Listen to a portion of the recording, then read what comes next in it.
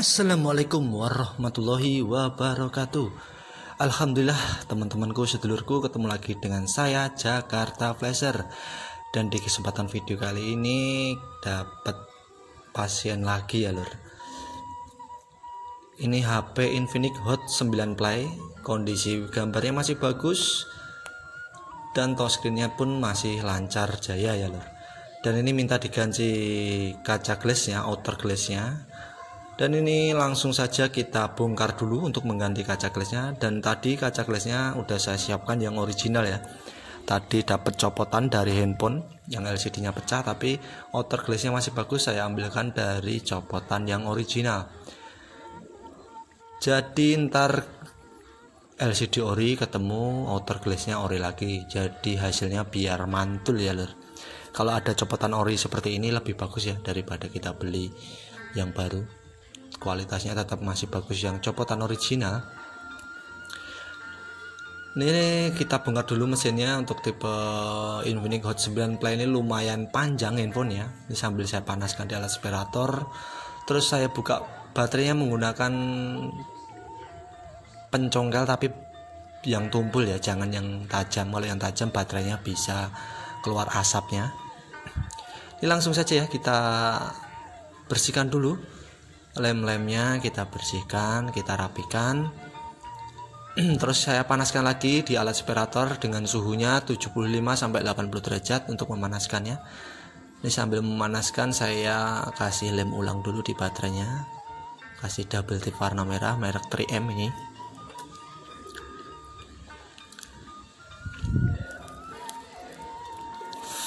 Kita tunggu beberapa menit agar LCD nya mudah dilepas kita siapkan peralatannya dulu. Pencongkel ini pencongkel bagian pinggir ya kayak semacam seng tipis. Seperti itu kayak aluminium.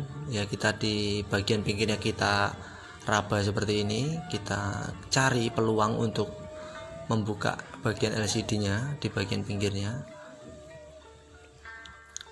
Ini kalian di bagian atas retak parah kita hati-hati ya dari bagian atasnya karena yang di bagian retak parah usahakan pelan-pelan karena resikonya tinggi. Setelah teman-teman bisa memasukkan mika tipis seperti saya ini di bagian pinggir kita memulai menjalankan mikanya pelan-pelan ya lur seperti ini pelan-pelan aja. Yang penting sukses slow terus di bagian atas yang bagian pecahnya hati-hati ya sambil saya oleskan sedikit-sedikit menggunakan thinner itu ya. Itu menggunakan thinner agar mika saya bisa berjalan lancar menembus lemnya. Pelan-pelan aja yang penting kerjaan beres. Pelan-pelan slow. Biasanya agak susah di bagian yang retak ya tapi kita tetap slow pelan. Ini sambil saya nyalakan ya. Masih utuh kondisi LCD nya tinggal di bagian bawah nih lur ya.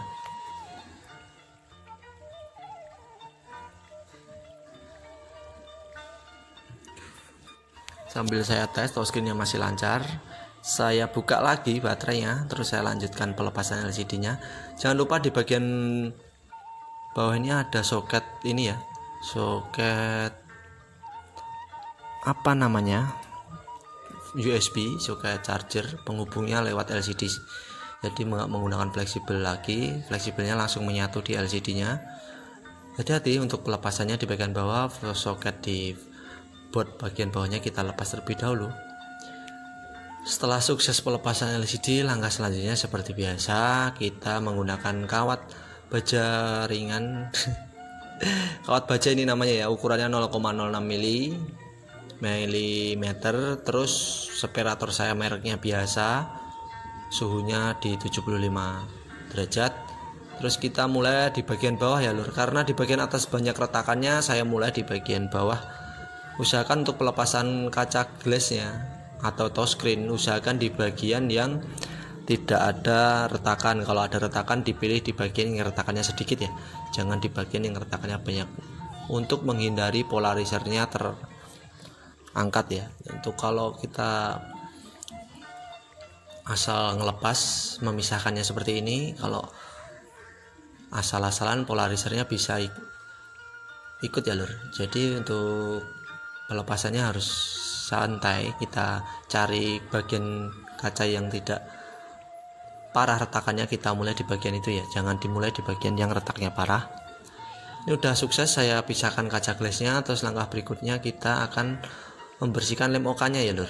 Kita bersihkan biasa saya menggunakan alatnya manual-manual aja. Selama masih bisa menggunakan tangan saya pakai tangan ya lur sebenarnya ada alatnya untuk mengelupas sisa lem okanya kalau teman-teman nggak punya jangan sedih. Bisa masih menggunakan jempol seperti saya. Tinggal kita putar-putar seperti ini kita tarik-tarik. Kalau keras tinggal kita panaskan sebentar lagi di alat vibrator baru kita tarik-tarik lagi ya. Jadi di, dengan alat-alat sederhana sebenarnya bisa tanpa menggunakan bubble remover pun bisa ya lor asalkan cara pemasangannya benar. Tapi kalau teman-teman punya bubble remover ya dipakai juga tidak apa-apa karena lebih mempermudah pekerjaan ya. Ini udah saya bersihkan tinggal kita lap lagi dengan menggunakan thinner biar flek-flek lemnya ini hilang semua biar LCD nya kinclong lagi.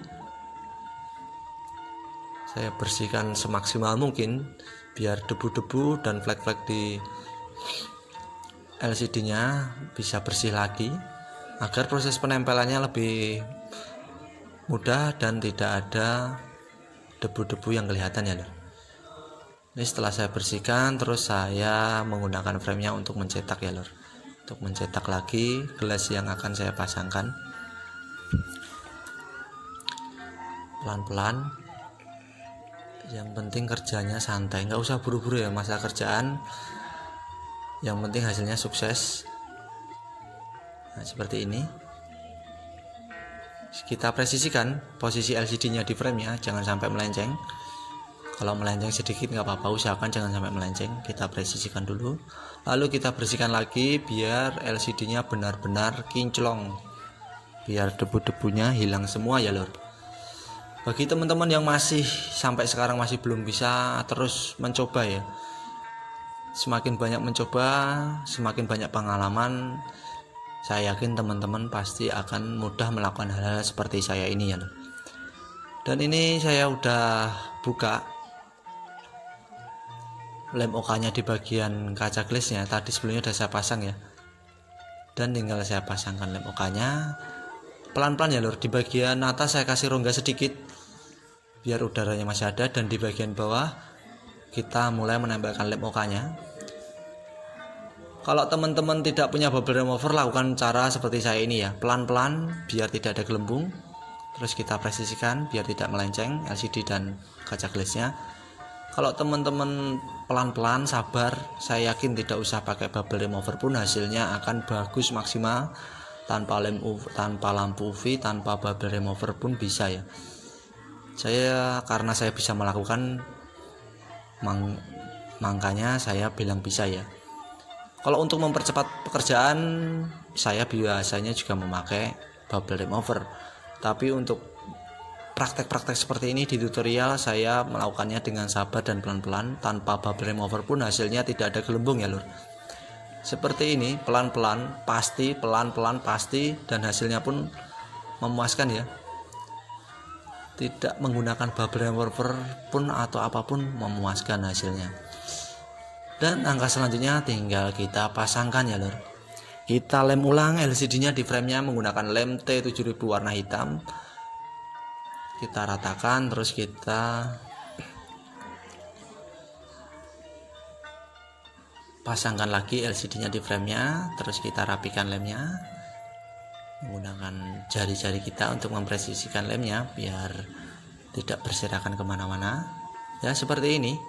Step by stepnya ya lor jadi teman-teman yang masih sampai sekarang yang udah lama berlangganan video di YouTube saya masih belum bisa saya doakan moga-moga cepat bisa ya lor prosesnya insya Allah sedikit demi sedikit teman-teman pasti akan paham sendiri. Karena sering melihat tutorial ataupun praktek langsung dan ini tinggal saya pasangkan baterainya. Alhamdulillah sukses. Coba kita cas dulu. Alhamdulillah masuk. Dan tinggal kita rakit ulang semua ya lor kita rakit ulang semua. Kita kembalikan lagi tutup-tutupnya. Kita buat lagi. Dan Alhamdulillah telah menghasilkan uang yang cukup lumayan ya lor dengan perjuangan beberapa menit tadi total proses pengerjaannya ini sekitar satu jam ya. Untuk di video ini tidak ada satu jam karena dipercepat.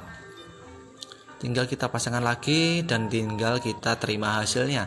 Tinggal kita tulis nota besok yang punya datang kita dapat duit ya lur untuk hasilnya ya lumayan ya lur ya. Karena ini tingkat kesulitannya juga lumayan jadi untuk tarifnya ya lumayan ya dan alhamdulillah tinggal kita pasangkan tutup belakangnya Infinix Hot 9 Play-nya sudah kembali menjadi baru lagi dan terpasang dengan kaca glass yang ori lagi. Jadi untuk keseluruhan HP ini masih menggunakan spare part yang ori lagi dan ini saya tes masih normal, touchscreen normal, gambarnya masih bening semua. Uh, mantap. Hasilnya bening, mulus seperti di pabriknya lagi dan ini